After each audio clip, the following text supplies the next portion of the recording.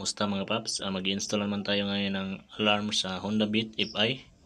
At kung bago ka pa lang sa aking channel, huwag kalimutan mag-subscribe at i-click ang notification bell para ma-update ka sa tuwing mga bago akong video na i-upload. Okay, umpisa na natin.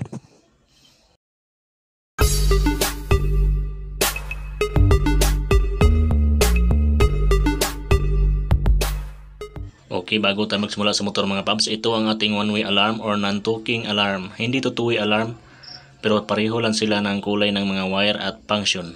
At ituturo ko sa inyo kung anong mga kulay ng wire nito at para saan ito ikabit. Itong dalawang dilaw, ito yung para sa signal light. Red, positive. Black, negative. Orange, ito yung para sa accessory wire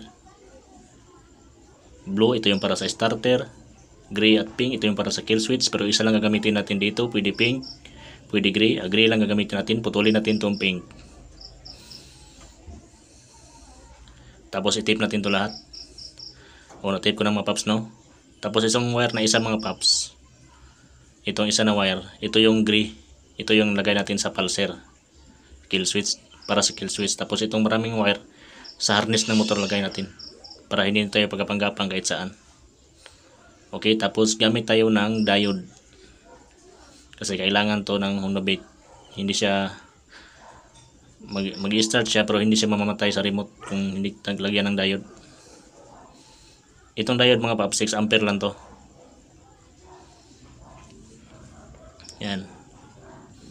Mura lang to mga 12 pesos lang bili ko dito mabibili to niyo to sa mga electronic shop okay uh, yung motor natin mga paps no?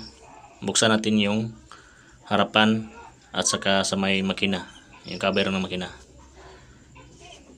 O kinatap ko ng mga paps no? Yung module alarm dito natin lagay sa U-box. Dyan tapos binutasan ko sa dito. Yung sirin niya ito. Kayo nang bahala sa inyo ilagay. Pwede sa loob pwede rin sa labas. Tapos pinutasan ko sa dito lagay pagkapang ko yung mga wire ng alarm papunta dito sa wire harness ng motor. Yan. Di, dalawang dilaw tap natin sa light green. Yan. Signal light yan ang kanan. Tap sa light green. Yellow wire tap na sa light green. Yan. Tapos isang dilaw, tap natin sa orange wire ng motor.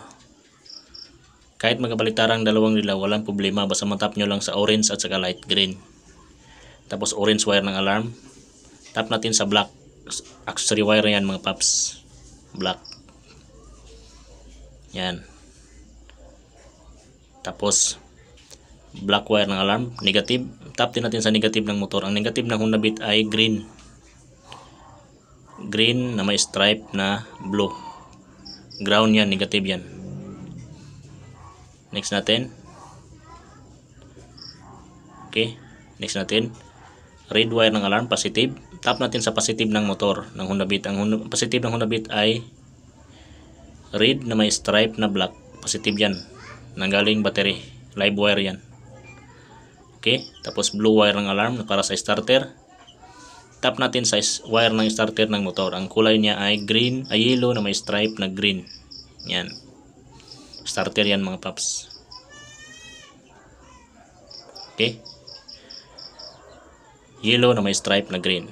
Yan. Tapos gray wire ng alarm natin para sa kill switch. Tap natin sa may pulser. Dito sa may papuntang stator. Itong wire na nakabalot. Buksan nyo.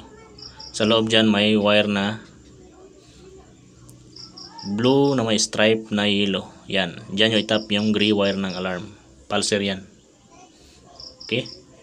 Tapos yung sa susian mayroon tayong babago, mayroon tayong lagyan ng diode. Ito yung diode natin. Yan. Sa susian mga paps, mayroon diyang ito yung susian natin. Mayroon diyan black at saka black na may stripe na blue pagsamahin natin dugtungan natin ang wire ito lagyan natin ng diode ito yung diode Tapos yung may puti na wire na ay diode, yung marking na puti, dugtungan ng wire papunta naman dito sa black na may stripe na brown. Ah, yun lang mga paps no. Sana nakuha nyo. Tapos tip natin to lahat. Sana nakuha nyo.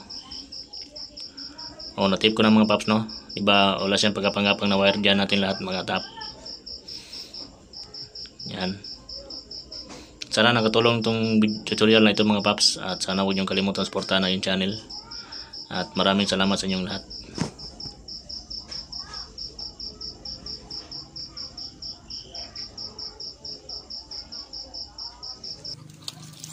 Ah, Honda Beat if I solution one way alarm locator kini.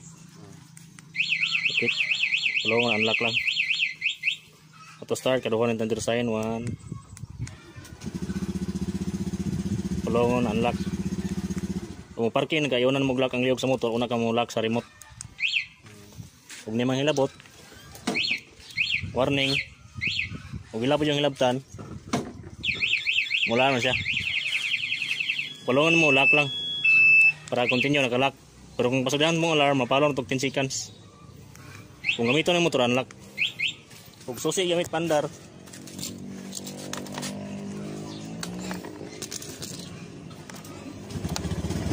pwede palungon sa susi, pwede palungon sa remote. Palong ang makina, makina rin palong. Pero sa remote gamit pandar, sa remote ng palong, ganyan siyang palong susi.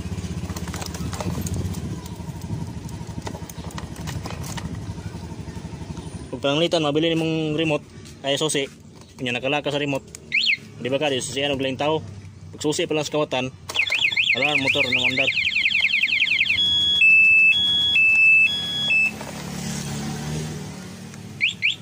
Kinay sa remote, applicator ni, pwede ka mo lock. Unlock. Starter. Nya bawal sa bulsa. Kay once magdagan once magdagan ka pwede maipit mga buton ni palong ang, ang motor.